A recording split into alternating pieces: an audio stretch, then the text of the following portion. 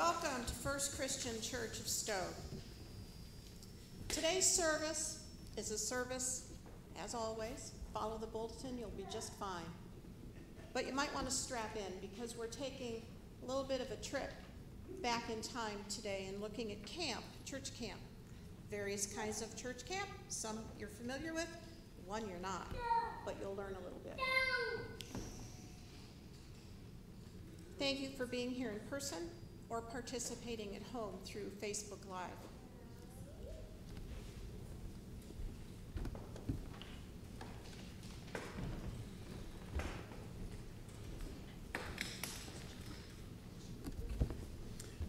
There were a couple of inadvertent errors in your bulletin this morning, so when it comes to music, if you would please refer to the screens as opposed to your bulletin today. Thank you.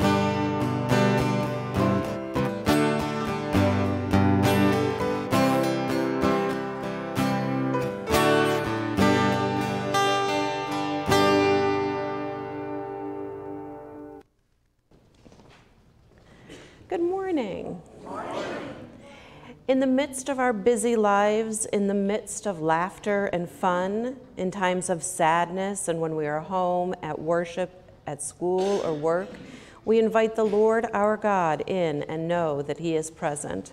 Let us pray.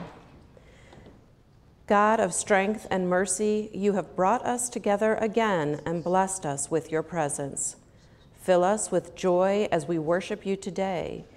We gather partially because we are comfortable here and have felt you with us here.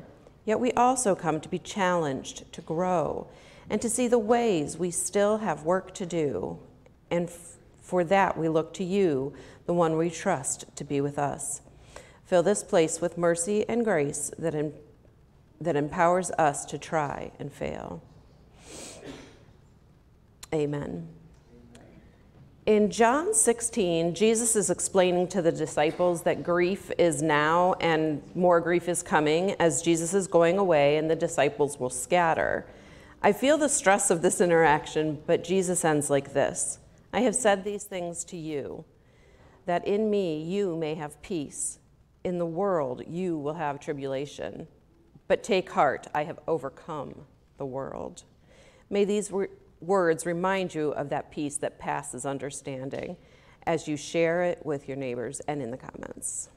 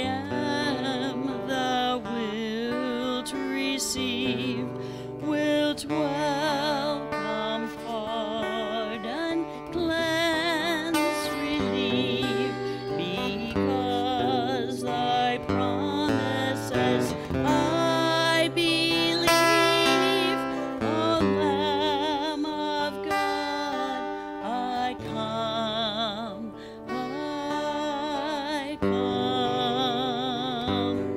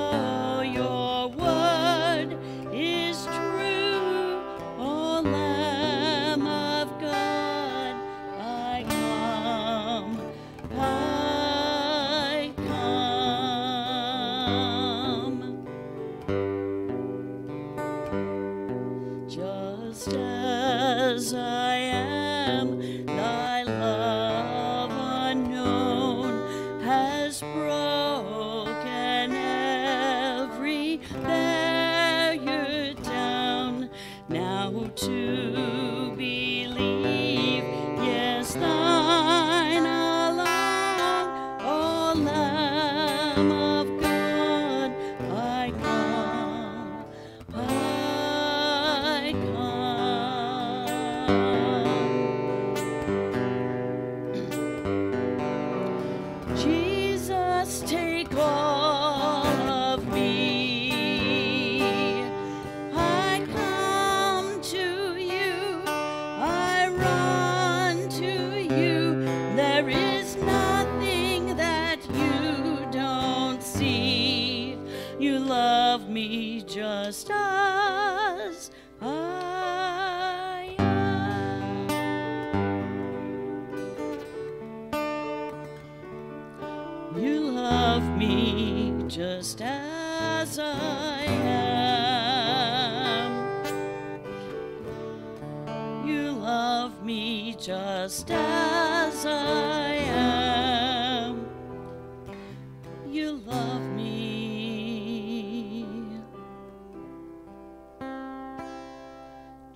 Just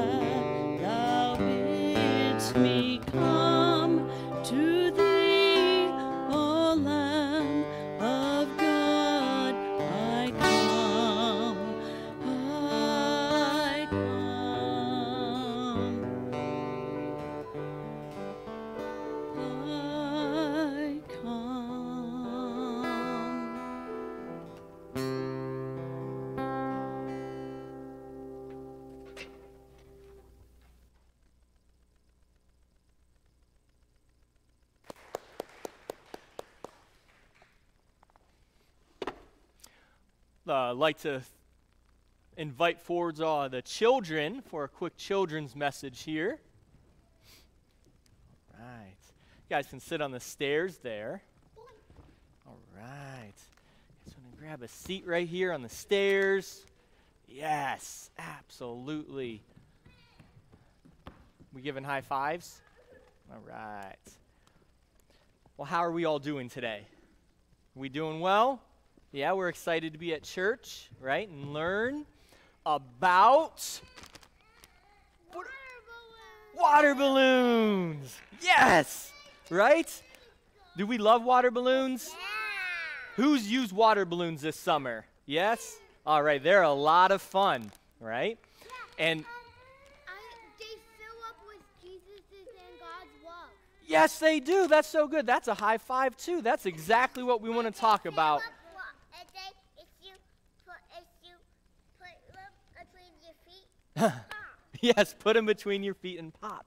And just like Jesus comes to us to fill our love, right? Just how we fill water in water balloons, right? It bursts out and it fills us with a lot of love from Jesus, right? And Jesus fills us with kindness, Yeah. right? And And I- compassion. And the best thing of all, right? What do we get to do with water balloons? we get to have fun. Fun. Share them with other people, right? Yes. We get to share them with other people. And. And that's kind of by throwing them.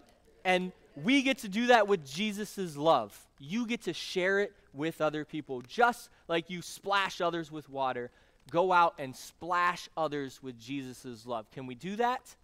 Yeah? All right, let's say a prayer together. You guys can repeat after me, okay? Here we go. Dear Lord, thank you for your amazing love that never runs out. Help us share your love with others and bring joy to those around us. Amen. All right, go share Jesus' love and burst like a water balloon.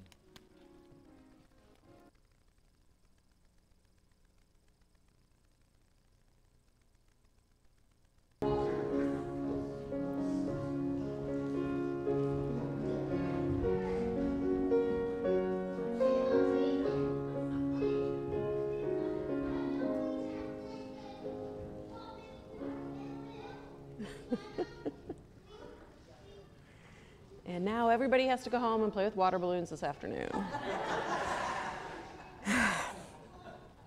One of many ways in which we support our greater community is with donations to Camp Christian. There are also opportunities for direct gifts to this ministry, such as camp scholarships and supporting individuals here at First Christian to attend camp. Camp Christian will gladly receive and faithfully use any gifts that you would like to give in support of this vital ministry. Please join me in singing a camp favorite, Pass It On.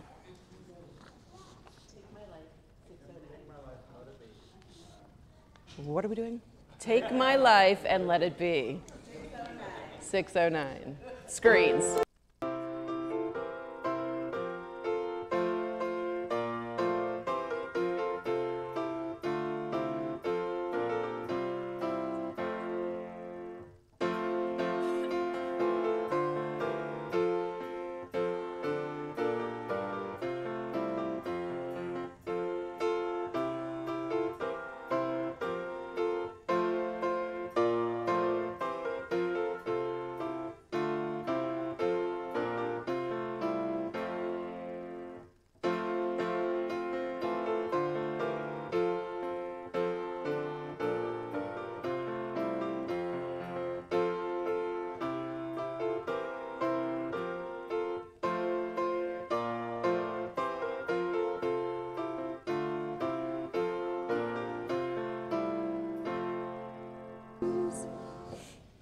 Please pray with me.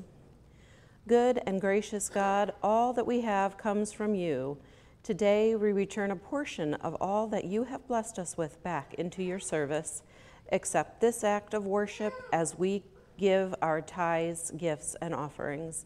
Extend our worship and ministry today from this community out into your work in the world. Bless our camps, camp leaders, and campers so that they may encounter you through these gifts. Multiply these gifts to reach further and do more than we could ever dream of. Amen.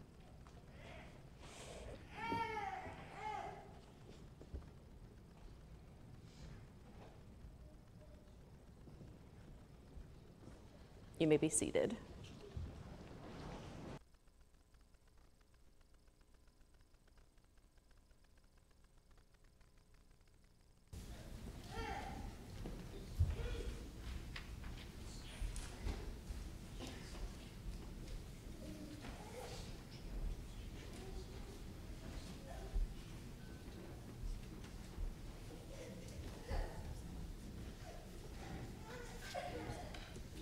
Our scripture today is taken from 1 Corinthians chapter 14, verse 26. What then shall we say, brothers and sisters? When you come together, each of you has a hymn or a word of instruction, a revelation, a tongue, or an interpretation. Everything must be done so that the church may be built up. We all bring different gifts to the table, and God sorts them out for us. All the gifts that we do bring serve to build up the church, be it the builders, the cooks, the cleaners, the singers, or the preachers.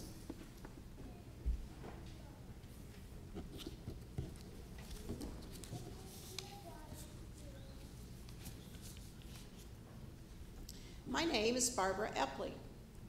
My friend, John McCright, and I are speaking this morning about our experiences with church camp and its lasting effect on our lives and our faith. I was brought up in a loving and a warm church, Sunday school most weeks, and vacation Bible school every summer. Middleburg Heights Community Church, part of the uh, United Church of Christ family. And it's still alive and well today in Middleburg Heights. And I look on their Facebook page every now and then just to sneak in and see what they're up to. As I grew older, I was able to attend church camp, which for us was located in Bellevue, Ohio. And it's called Temple Hills Camp and Retreat Center and is still up and operating today. That car ride seemed like it took forever, but it was really only ah, I don't know, hour and a half, two hours. It was just below Mansfield, for heaven's sakes.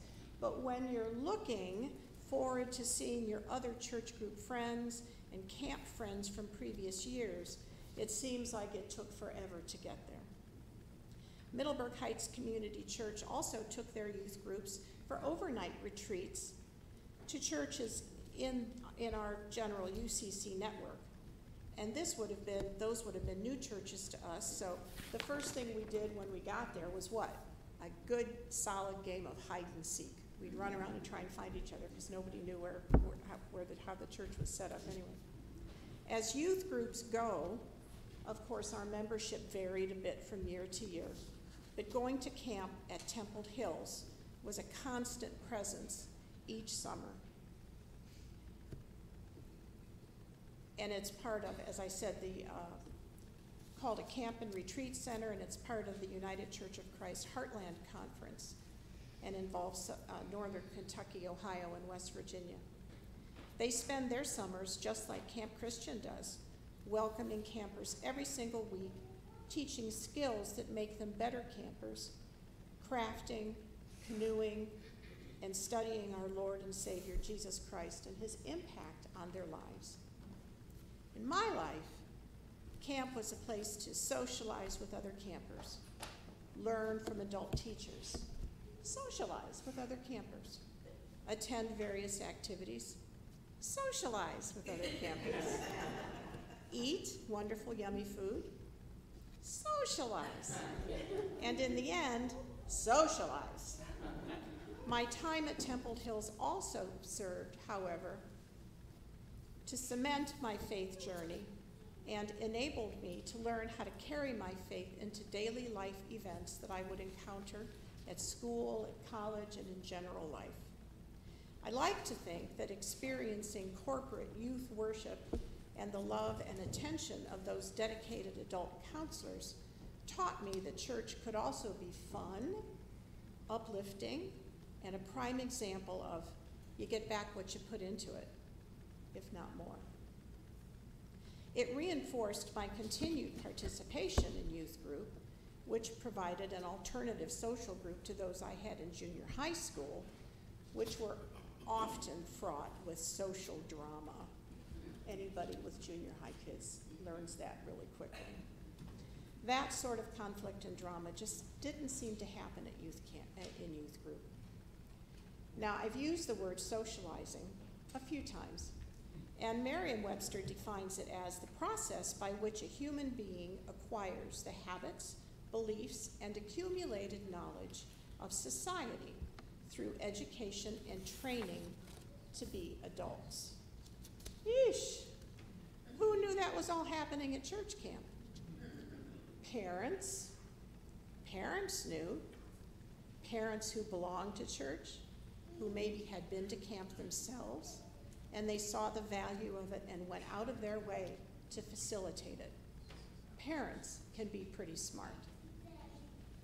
I wanted to read the mission statement of the Christian church staff uh, from, and it was taken from the Disciples of Ohio website. We, the Camp Christian summer staff, will strive to provide campers and conferees a fun and safe environment that promotes spiritual nurture, independence, personal growth, and creativity through healthy teamwork. It is a calling to serve at Camp Christian.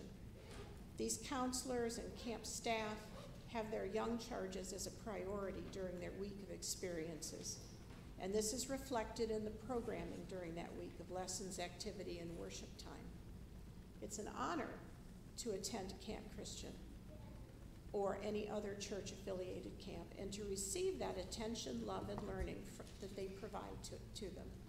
We are blessed here at First Christian Church in Stow to have strong and vibrant spiritual and financial support for attending camp. The future of Camp Christian depends on our attendance and financial support. And I am proud that First Christian of Stow does both.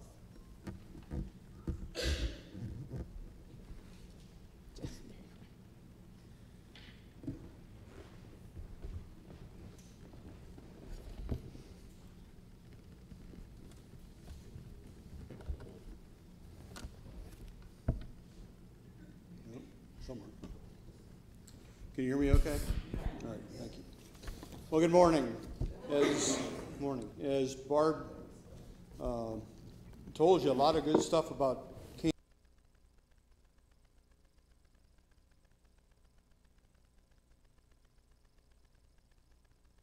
was very much a spark, and that was, uh, so anyway, that was what we're gonna talk, what I'll talk about here. I do have old memories, so hopefully they're accurate, but they're the best I've got. So some of you others, like Ava's been to camp recently, and I don't know if there's other campers around here, but you may be able to correct me, but just go with it for now. So I was at camp between uh, 1965 and 1971 from this church.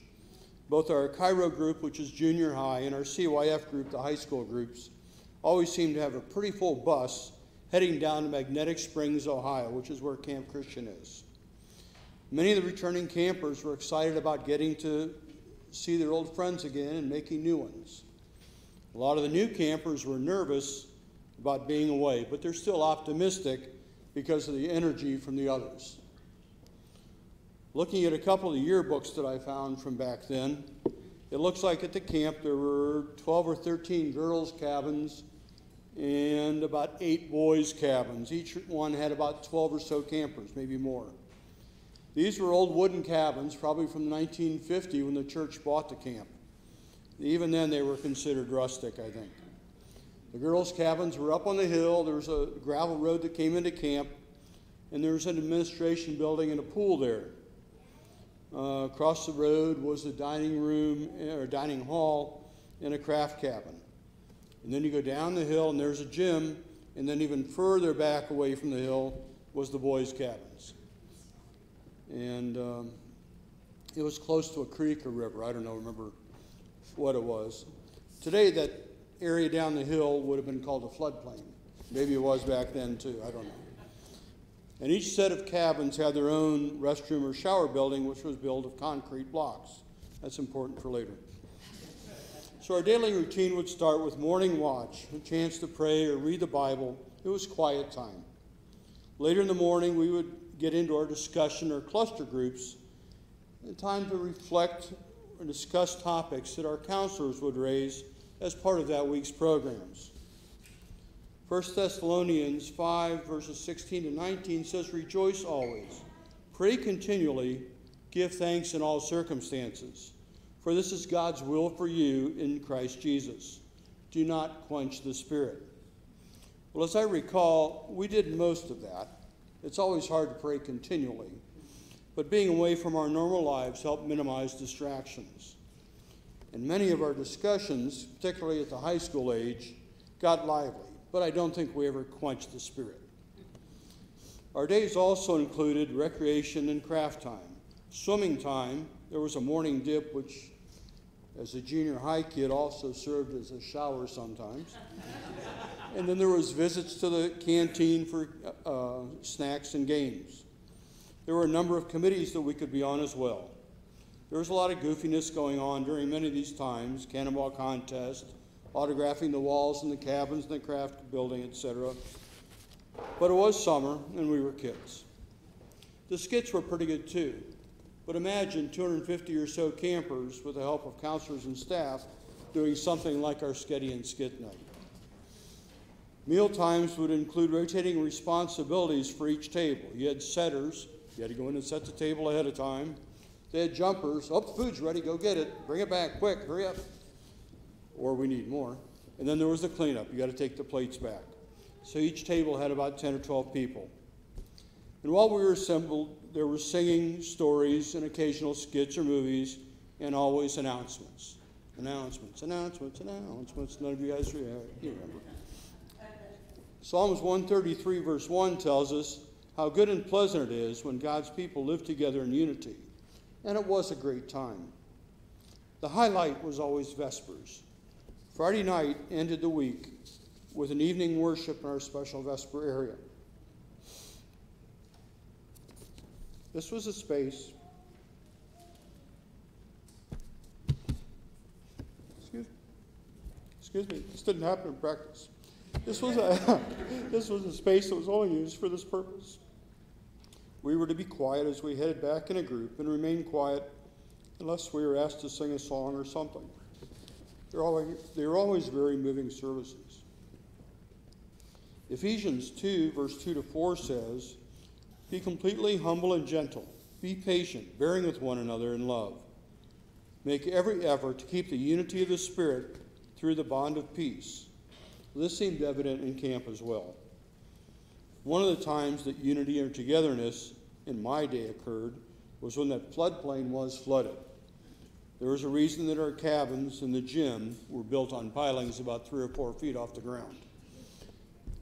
We had many events in the gym, like skits and dances.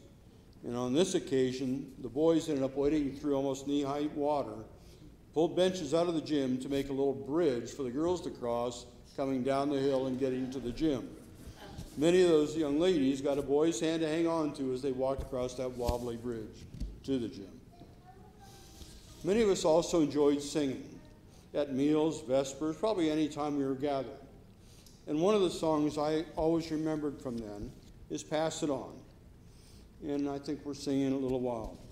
You know, it only takes a spark to get a fire going. And soon all those around can warm up to its glowing. That's how it is with God's love. once you've experienced it. You spread God's love to everyone. You want to pass it on. Oh, I got one, thanks. yeah. This song, in many ways, experiences or summarizes camp experience to me.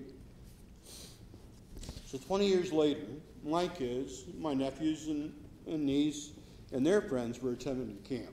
Now we're in the 90s. By then, those boys' cabins and the gym that were down in the floodplain are gone. They've been flooded too many times. But now there's new concrete block cabins built up, uh, and the girls were in there, and, the, and they had a new gym up there also. The boys are now in the old girls' cabins along that road. I understand their days followed a very similar agenda to what I experienced. The campers also grew closer to God and enjoyed the fellowship of camp. Many even attended advanced conference, a post high school camp, at least for a couple years after graduating. Chris and Aaron, my kids, and Brian, my nephew, and some of their peers have since entered the ministry. I believe that camp was one of the sparks in their calling. And many, many former campers of this era and mine have returned as camp counselors. Well, Chris told me of a time when he was a counselor that the Chi Rho, Cairo boys were in the block restroom waiting out a tornado warning. Well, a couple of the counselors started strumming their guitars and led an impromptu sing along to ease the kids' nervousness. To me, it's another example of the unity and community of the camp. I've heard that since then, all the old wooden structures have been replaced with new block buildings, thanks to the supporters who supported the various camp building funds over the years. So these past two years, my granddaughter Lyndon, third generation now, is attending Otter Camp. She too loved it and is looking forward to next year. Although she was disappointed when she told me that there wasn't a pool anymore, but she enjoyed fishing in the lake that's been added. So sadly, the attendance at camp, like that of our churches, is not as robust as it once was. But it has opened up other opportunities. They now have family camp, grandparent camp, otter camp for third to fifth graders, ribbit camp for two, second to fourth graders, music camp, and others.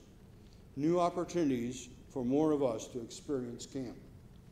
What a great time of worship and fellowship it was. I saw those kids up here today, potential future campers, right? And Ava's even been there, I know. Uh, so, anyway, but remember, it only takes a spark.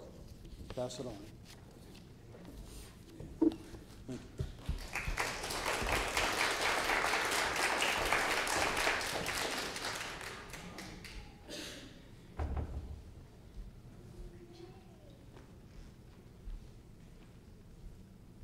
Let's close in prayer. Bow your heads, please, with, with me. Dear Lord and Savior, thank you for your church. Know that we pray for open hearts to receive your message of love, whether it be at camp or here at church.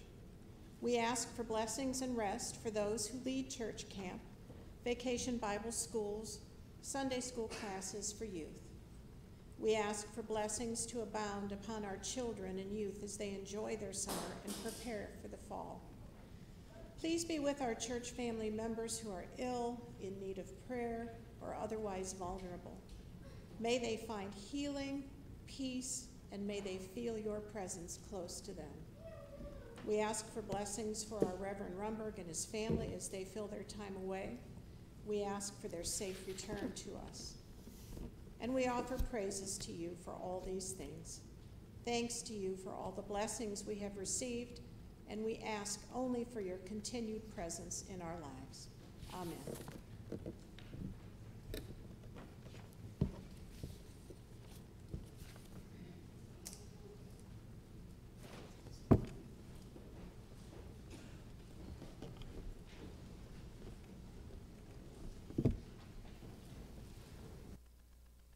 Want to uh, thank John, Barb, uh, for sharing those messages with us. Um, I know as a parent that has children that would soon, one day, a couple more years, uh, be going to camp, it is definitely comforting to hear those stories and uh, reassuring to myself that um, I do want to make sure that they get the, the chance to go uh, to camp and is, is really just great. Thank you so much for sharing uh, those stories with us and our congregation. So I'd like to lead us through our pastoral prayer and into the Lord's Prayer at this time. So if you would join with me and bow our heads. our Heavenly Father, we come before you today with these humble hearts, seeking your presence and guidance in this time of prayer. We thank you for the gift of life, for the love and grace that you pour upon us each day. We gather in your name. We are reminded by your boundless mercy and unwavering faithfulness. Lord, we lift up our congregation, our brothers, our sisters in Christ to your loving care. May you strengthen us in our faith and unite us as one body filled with compassion and understanding for one another. Grant us the wisdom, wisdom to discern your will and the courage to follow it faithfully. We pray for those who are facing trials and tribulations, for those who are burdened by illness, grief, or loneliness. Comfort them with your loving presence, O Lord, and let them find solace in your unfailing love. Dear God, we intercede on behalf of our leaders, both in the church and the world, that you may grant them wisdom, and discernment as they make decisions that impact our lives. And we pray for the peace and unity among our nations, that your grace may prevail love over the conflicts and strife. We give thanks to you, Father, for the bountiful blessings that you shower upon us. And may we never take these gifts for granted, but always use them to glorify your name to advance your kingdom. Let us join together now in a time of silence.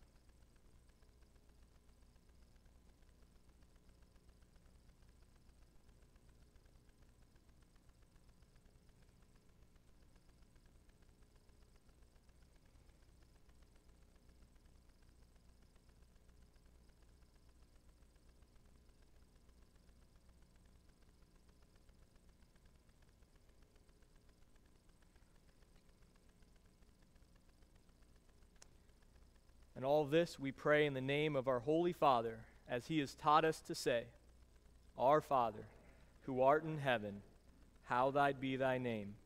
Thy kingdom come, thy will be done, on earth as is in heaven. Give us this day our daily bread, and forgive us our debts, as we also have forgiven our debtors. And lead us not in temptation, but deliver us from evil. For thine is the kingdom and the power and the glory forever. Amen. Let us join together and sing our communion hymn.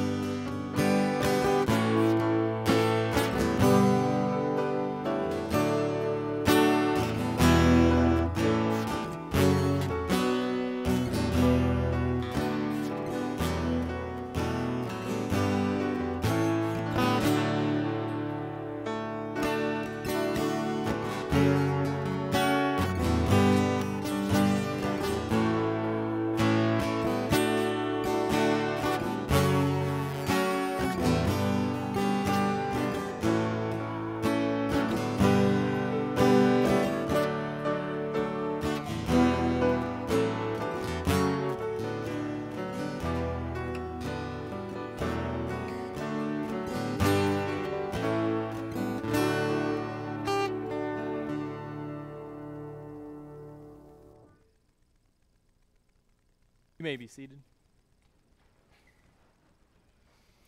So we get to join together for communion, knowing that our hearts are filled with gratitude and love, and that we partake in this sacred act of communion.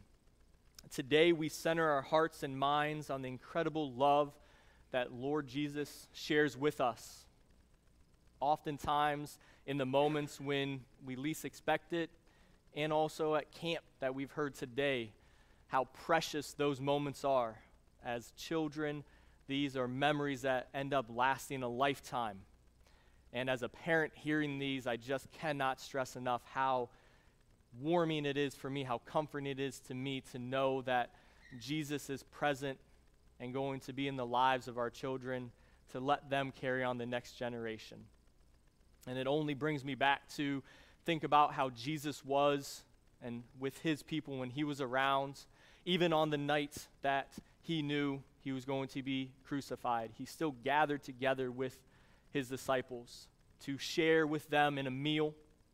And it was at that meal that he grabbed a loaf of bread and he blessed it and he broke the bread, taking it and passing it to each of his disciples telling them, Take and eat of this, for this is my body broken for you. And in a similar manner, Jesus took the cup and he blessed it. And he passed it to his disciples, telling them to take and drink of this, and do this of all of you, for this is my shed blood, shed for the forgiveness of your sins. So let us come to this table to receive the gifts of God, for these are the gifts of God for the children of God. Pray with me. Our dearest Father, we praise you for this heavenly banquet that you have so freely given us. Thank you that we carry in our hearts the riches of this eternal goodness. May we pour it out whenever, wherever we go, lighting up the darkness with truth, speaking out hope where there is despair, and weaving your unconditional love into all we do. In the name of Jesus, amen.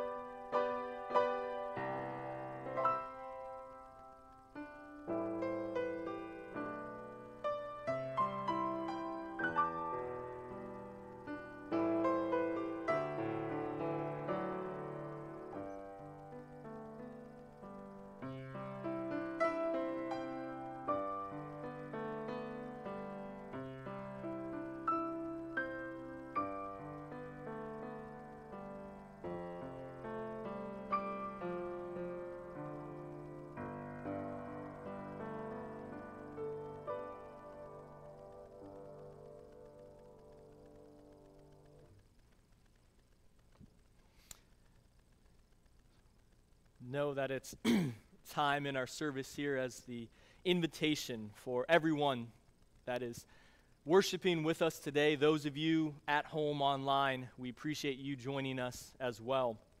And we know that we felt God's warmth and love today, especially me. I know that the stories that were shared about camp uh, really hit with me today, and hopefully that is shared with each and every one of you here today. So join with us together as we lift our hearts in worship, seeking His presence and grace. Let us embrace His word, finding guidance and hope for our journey. Together, we can grow in faith, supporting one another with the love and compassion that only Jesus can share with us. So join our community of believers as we walk hand in hand, even at camp together, following the path that has been laid for us by Jesus Christ. You are welcome just as you are to experience the joy and fellowship and the transformative power of God's love. So let us stand together as you're able and sing our first few verses of our invitation hymn.